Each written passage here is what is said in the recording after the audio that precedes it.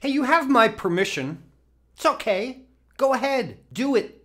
You can take another route. You don't have to go that way. You, you can take another path. You can always take a detour that'll still get you to where you want to go. So, you have my permission to swap any and all ingredients that you want to, and I'm going to show you how to take a food detour today on the Carefree Cooks Code. I'm Chef Todd Mohr, and this is the Carefree Cooks Code every Tuesday live at noon Eastern. Here's our challenge How can home cooks cook freely with creativity, confidence, and pride while ignoring recipes and still impressing themselves and others with what they cook? Well, the answer is found in becoming empowered with how cooking works, using dependable and repeatable methods of cooking that work for any ingredient, for any diet, and any desire, just like chefs do. And we'll know we've cracked it when everyone sees cooking as an exciting and rewarding way to improve their relationships, their lifestyles, and their health through better food and cooking. This is the Carefree Cooks Code. Hey, welcome back, everyone, to the Carefree Cooks Code. It's a Tuesday, it's noon in the East, and that's when we always get together live. If you missed any of them, you should go to my past episodes archive on Facebook. Just click videos there or go through about 500 free videos on YouTube. And now you can follow what I'm cooking for dinner along with the steps and how I did it. The methods, not the recipes, on Instagram. And oh, that's the result of our paella class the other day. You'll see, follow me on Instagram, you'll see it. And one more time, don't ever be left out of one of my live broadcasts. Too many people tell me that they're missing them. Set your notifications correctly. Right under under the top, uh, uh, under the video on the top of my page is the follow button. Click the follow button, and then once you're following me, you can click the barely visible little pencil there next to notifications. Click standard, and you will never miss another video again. Because why? Why do we do all this? It's because we're carefree cooks. We create our own recipes. We bring friends and family together. We learn every time we cook. We create our own cooking style because we practice pro methods and we love our cooking. That's what it's all about. But you know, that that one create my own cooking style. Think about that. I, I, I want to concentrate on that one today. Create your own cooking style. Let's let that sink in for a minute.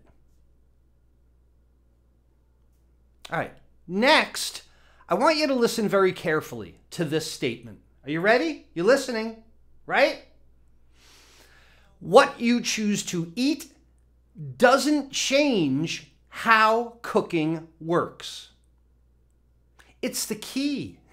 it's the key to cooking any ingredient for any diet or any desire. And that's our topic today. But first, I've got a what am I?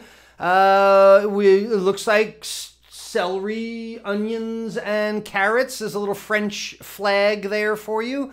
That's a lot of hints. That, that might be a really easy one for you. The what am I? Tell me in the comments section below. What am I? There's another hint. Eight letters and two words. Eh, might as well just give it away. Uh, look, you know, I got to ask you a question. If you're driving on the road, okay, imagine this. You're driving on the road and there's heavy traffic or uh, a roadblock somehow. Do you, do you just like get out of your car and, and you walk away and you go, oh, well, no possible way to get there? No, of course not. You find a way around it. You take a detour, right? But I find so many people are afraid to take these detours in their cooking. They, they got to drive straight forward, straight forward with it, or not drive at all. But really, it's the wrong way to think about this because, again, what you choose to eat doesn't change how cooking works.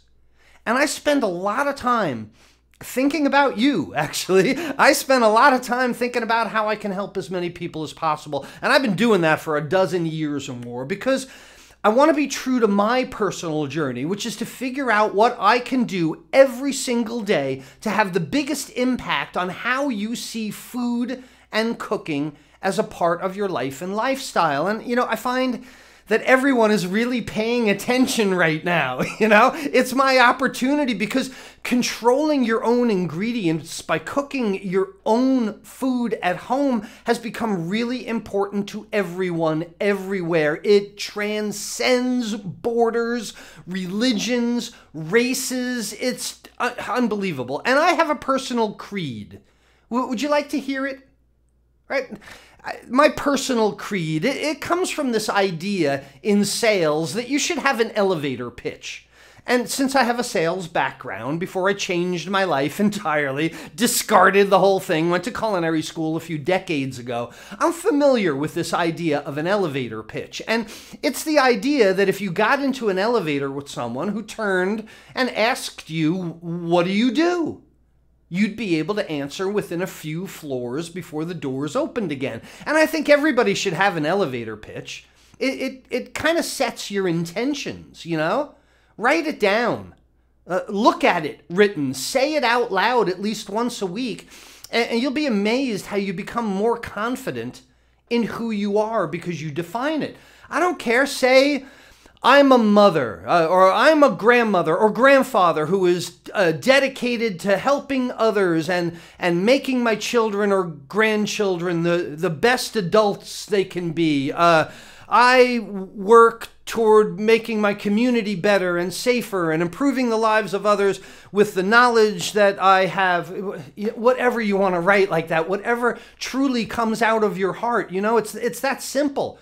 Think about it. Think about it. If you got into an elevator with someone who just turned to you all of a sudden and said, "Hey, who the heck are you?" You know, who are you? Who are you? Better said. Uh, you know, look deeply, not as aggressive, but look into your heart. Hey, I'm genuinely curious. Who are you?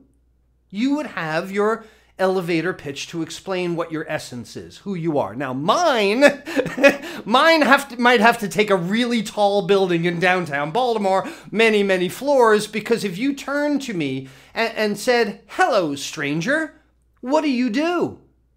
I would be able to quickly say, "I help amateur chefs who want to impress themselves and others."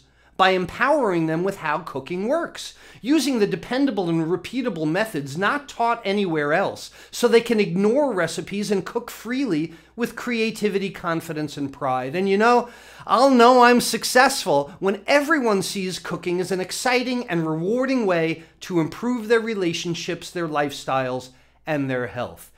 Bing! And the doors open and we step out. You know? it, it's kind of like the opening video of the show. You see it every week. It's, that's where I got these ideas from, from, from my personal mantra, from my elevator pitch. But let me remind you one more time that what you choose to eat does not change how cooking works. Okay, so when you think, when I think I'm all about fulfilling my own mantra, I, I want to help amateur chefs, I want to help home cooks the best way I can, I want to have the biggest impact I can and immediately change people's cooking everywhere. So I came up with what I think is the most important thing for you to hear from me right now. And the most important thing that will apply to the most people today is that you have my permission to substitute any ingredients you want, any you do or don't want to eat, any you do or don't or have to eat, or you can't eat, or you just don't have, go ahead. Do it. It's okay. There is no such thing as a fail because this is what holds people back from discovering new things in cooking. The, the, this idea that there's one perfect way to make something. What's the recipe? What, what, what's the one way to do it? It's, it's the basis of why I have always believed that cooking has been taught all wrong for so long. There's not just one way to cook anything. Like there's no one way to drive somewhere. So so you might get lost for a bit, you know, you, you, but you're eventually going to find your way. So if you see someone cooking chicken and you're a vegetarian, calm down and just use something else, you know? And if you see a vegetarian dish and you love it, Uh, you love chicken, throw some chicken in there, right? This is this is how we kumbaya. This is how we all come together. It's okay. We're all allowed to do these things because it's amazing to me when I get those granted a few people who comment on my videos and come to my classes and they say something like, "You know, maybe I would take your classes if you didn't cook chicken." Well, it's the same. Or, or they'll tell me that my recipe looks good, but they don't really like Brussels sprouts, so they're going to ignore it entirely. Use cauliflower then, you know? People always ask me what to substitute for wine when cooking. Anything you want is the answer. Any liquid, except water. If it turns out bad, then you don't do it again. You know? What if you don't have lentils? Use beans or rice.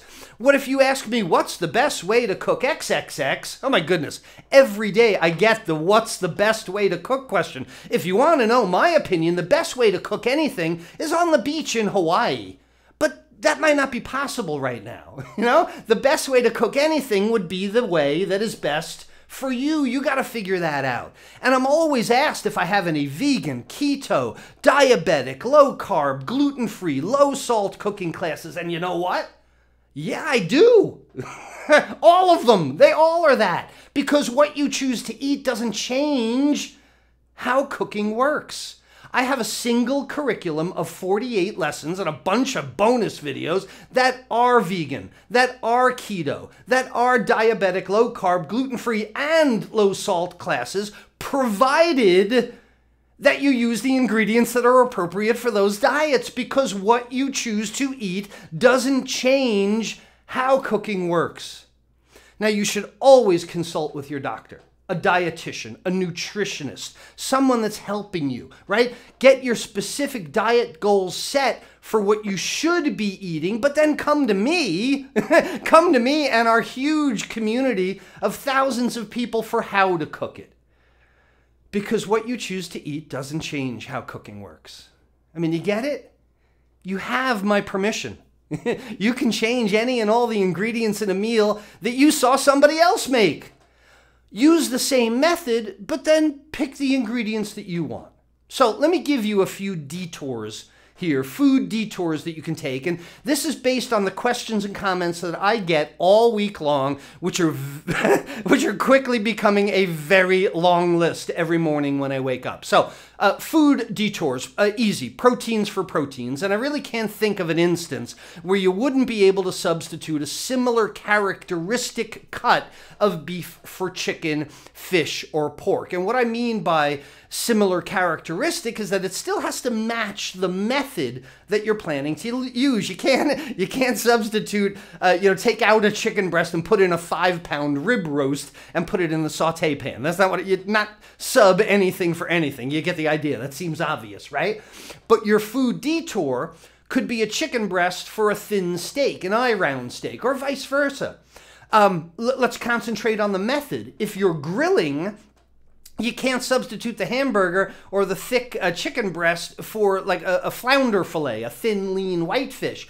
Go with the heartier fish would be a good substitution for beef or burgers. Uh, swordfish, shark, salmon steaks, you know, cut from the round with the with the spine bone in the middle, right? They're great on the grill take the same seasonings, make the same sauce as the dish you're copying, whatever you, it is you like about that dish that you saw somebody else make, change the protein, and then it becomes what you want it to be. It's an easy one, right? Swap proteins for proteins, real easy. But what about these vegetarian substitutions for animal proteins? And you might not think this is as easy, but if you look at it my way, maybe it is, because there's no reason you can't make a tofu stir fry instead of chicken. There's no difference in the dish. You make it yours. And then take it another step, change any chicken broth to vegetable broth. You know, then you own it, right? Uh, if you like things like falafel, chickpea cakes, uh, black bean cakes. Tempeh is really good, uh, which is also a soy product uh, like tofu.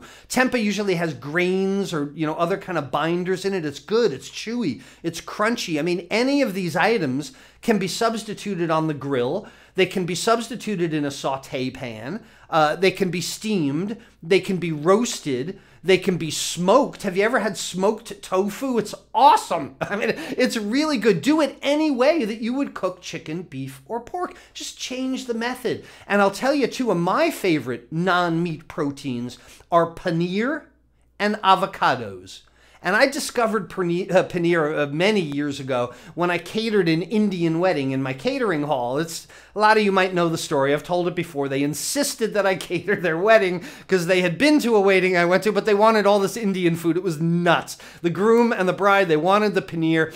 Uh, I, they taught me how to do it, and I've been making it ever since. That's decades ago. Uh, what paneer is is a really like firm cheese, kind of halfway between tofu and cream cheese. I get, but it's firm enough that you can cut it into cubes, and you can cook it in just about any manner. What we did for this wedding was I made skewered paneer uh, skewers with green peppers and stuff, and it takes the grill. I mean, it grill marks. This is a cheese that takes grill marks. It gets brown, it gets crispy on the outside, but still really soft in the middle. It's really, really good. Uh, I've dry rubbed the paneer with a whole bunch of spices and then sauteed it in oil in a, a saute pan. Get the same effect crispy and really spicy and hot on the outside, really soft on the inside. Avocado. Look, if you're trying to avoid animal proteins, avocado has got to be one of the best vegetable source proteins you can get. And you can grill avocado. It takes it. You can steam avocado, saute it, broil it, roast it. It's endless. It's, you don't just mash it for guacamole. avocado can be cooked. All right, so next, with those ideas, swapping protein for protein or protein for vegetable, let's go ahead and talk about the aromatics that you cook with. Because some people put onions and garlic in everything. They're called your Italian grandma. now, but it, a lot of people can't eat onions and garlic. If you're on that like, FODMAP diet or for a lot of digestive issues, you don't want fermentable things like that. And if you can't cook with onions and garlic, just leave it out. Just just don't even worry about it. You know why? I heard this phrase not too long ago. It goes something like what you choose to eat does not change how cooking works. If you see a meal that you would like to recreate in your own kitchen, but it has onions in it, there is no need to send me an email and ask my permission or what you should do about the onions. Do you have to use the onions? No, you don't. Today, you have my permission to not cook with onions if you don't like them or if they don't like you, right? Um, I cook with a lot of bell peppers. Love bell peppers, but I hate the green ones. Anytime somebody tells me to put the green ones in, I say I've got my own permission to change the, the green to red or yellow or any of the ones that I want. So let's talk about taking a really big food detour on this one. Let's let's talk about taking the aromatics that you cook with and how you can change them, right? Because you use teams of aromatics, and your basic mirepoix is carrot, onion, and celery. But look, I'm not a big fan of celery, and it, it doesn't last very long in my fridge for as long as I want mirepoix for, and it, it doesn't freeze very well, so I leave it out. I just don't use it because I, I don't keep it in my kitchen. And if you don't like onions, leave it out, or try shallots maybe. Try garlic. And, although shallots and garlic, that might be too much like mushrooms. Try um, parsnips. Uh, uh, try turnips. Try mushrooms. There's a white mirepoix for you. That, that's something still white, but not an onion. You know, it's endless what you can do. forget about your basic mirepoix. You start to create your own signature mirepoix, right? So every time you want to use something that is cooked in your own style, right? You create your own cooking style. Every time you want to use a dish that, that has some kind of French version or, or has your version, you, you, you pull out that mirepoix. But what about using like leeks? the green part of leeks or the white part of leeks or use other kinds of peppers use tomatoes um, use beets scallions uh, fennel root lotus root i mean geez there are so many other things that are grown in dirt but aren't a carrot, an onion, or a celery. Because when you start to explore this idea of international cooking, right? Adding flavors from other countries to your repertoire, you start doing things with the aromatics that you never would have done before. And I know I've already given away the what am I for you uh, today. I kind of blew it. French uh, mirepoix is carrot, onion, celery. That was the what am I for today. If you guessed mirepoix, or if you knew mirepoix, you don't have to guess. you got it right. But in Italy, we put garlic, onion, carrot, celery, parsley, and fennel root together. Does anyone know what the aromatic mixture in Italy is called? Italian mirepoix? Anyone? It's called battuto. Cool, huh? So what if you started using battuto instead of mirepoix? All right, I'm going to give you an easier one. There's a Spanish flag in the corner down there. All right, that's a hint. Uh, uh we're going to be taking a food detour away from mirepoix. Uh, I don't think the Spanish and the French have ever gotten along very well. we're not going to use battuto. The Italians are another thing. But this time, it's time for olive oil, tomato, pepper, onion, and garlic. No carrots in there at all. Seven letters we're doing more What Am I's since I blew the first one. Do you know what Spanish mirepoix is called? Anyone? This is, the, this is a thing that culinary students need to know. They need to know about a dozen of these things from different countries so that they can immediately pivot their cooking. So they immediately change the combination of aromatics and bring it to another country or, or, or, make, or make it fit a specific diet. You know, this is the way chefs are taught. Well, the Spanish combination is called sofrito. And it's the same thing for Italian, for Mexican, a lot of Caribbean, Central American cuisines. I'll give you one more. Okay. Uh, a lot of my friends in the southern U.S. are going to know this. If you're in, the southern U.S., if you're way down a bayou, uh, Louisiana way, with some gators, sorry, then you should know what onion, celery, and green pepper is called, right? Where are my etouffee fans? Right? It's the Holy Trinity down there in the southern U.S. Nobody's Cajun grandma don't cook nothing without starting with that combination. There's German Suppengrün, Suppengrün, uh, which basically means soup greens. But Suppengrün in Germany is leek, carrot, and celeriac. Swedes do parsley root, root onions, and rutabaga. Uh, in Poland, they have włoszczyzna, Nya, uh, a lot of Z's, a lot of Y's, but in Poland they use carrots, parsnips, celery, leek, and cabbage leaves. It would make sense. Polish use cabbage. A lot of things cooked with cabbage there. Look, we could go all over the world on this one. We could go from country to country, region to region, depending on what is grown there. They have a different combination of aromatics. You know why? Because they understand that what you choose to eat doesn't change how cooking works, no matter what language they're speaking. So, the last detour we're going to take today is with flavor profiles, and it's the way that you season the dish. This is the most obvious way that you can change something that you don't like the flavor of, or maybe can't eat the spices. You know, a lot of people uh, uh, don't like red pepper, cayenne pepper, or they're allergic to it, or some people just don't like spicy foods, you know? Use white pepper instead. The most undiscovered pepper for home cooks and home chefs is white pepper, in my opinion. I love white pepper. I learned about it in culinary school. It has such less of a zing to it, less in your nose, less on the back of your throat. It's great. Make that substitution. Uh, cilantro. Cilantro is a divisive little herb, isn't it? People start fights over cilantro. People either love it or hate it. And if you hate cilantro, use parsley instead. What's the difference? So from there, you can start building your own spice teams. Start thinking about how you would take like an Italian dish and make it Spanish, a Spanish dish and make it Italian, right? Think about anything with oregano and basil is going to smell like Italian food to you. You can't avoid it.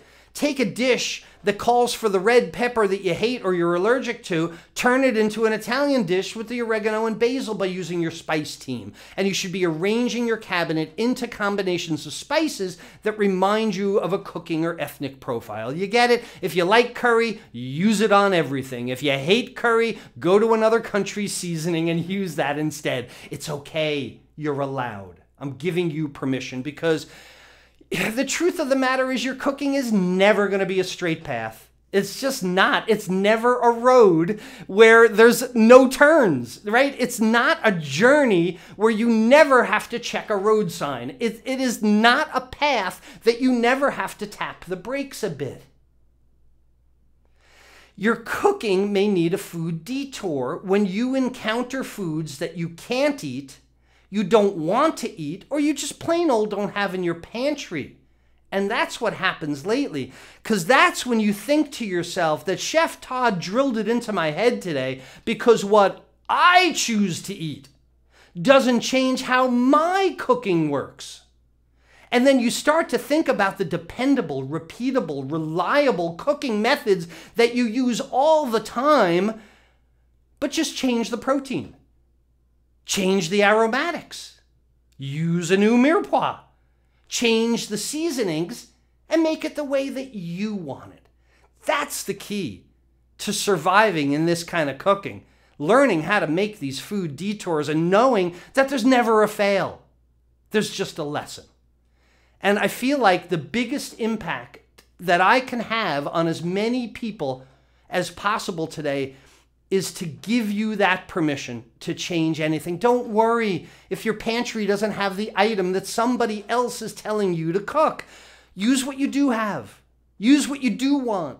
Use what you should be eating and cook it the same way. So now, now is the time to experiment. Now is the time to take your confidence in how to cook and apply it to any ingredient for any diet or any desire and arrive somewhere brand new, another country, arrive somewhere because now is the time that there are no failures.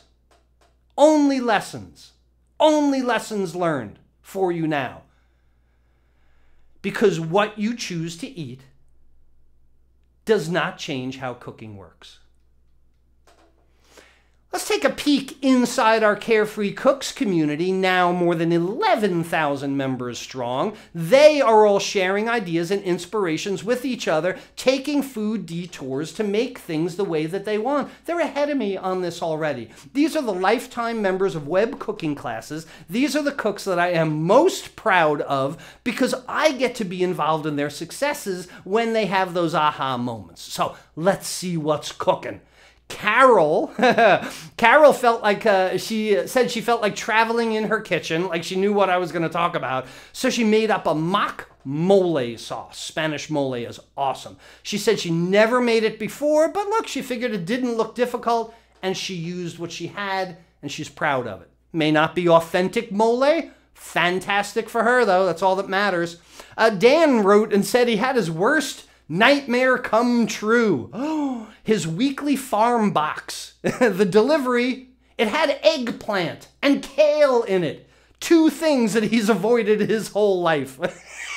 I loved it. But he said, Look, no problem. I'm a carefree cook. I know dependable methods of cooking. I know the seasonings that I like. So what? I got a new ingredient. He took a food detour, wound up with this great meal. Nicely done. Uh, Kathleen says my mushroom risotto class last Wednesday was great. But she changed it all up. She didn't have to do what I do. I don't want you to do exactly what I do. She used beef stock in the risotto instead of, uh, uh, what did I use? Uh, shrimp broth. Uh, she cooked this pork instead of doing a fish the way that I do. Kathleen, you're allowed to do that, right? And everybody else is too. Nicely done.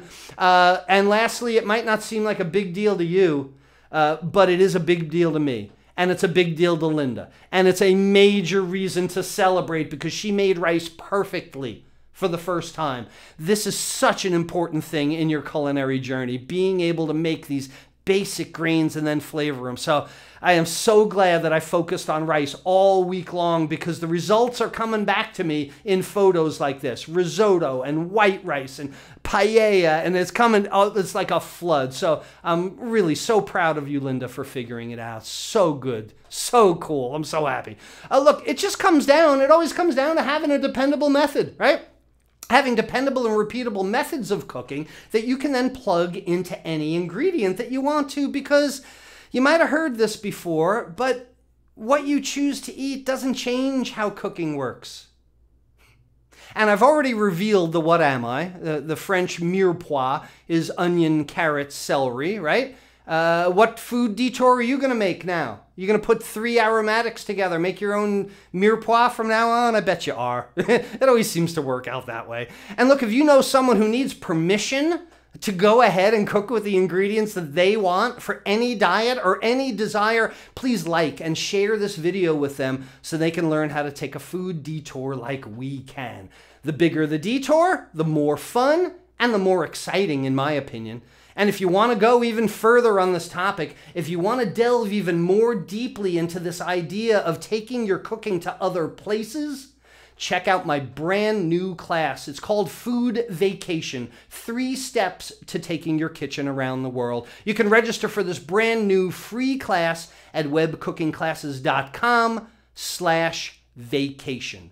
So, until next Tuesday, or perhaps sometime before, Chef Todd Mohr reminding you that there's a method to your cooking success. Bye, everyone.